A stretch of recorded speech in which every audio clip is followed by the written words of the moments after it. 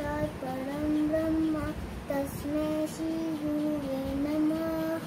Now I want to recite my self-written poem for my teachers.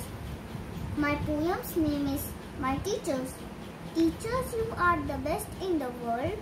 You take so much pain for us. You teach us lessons. You give us activities. You teach us moral of life. You teach us how to stand up in our life.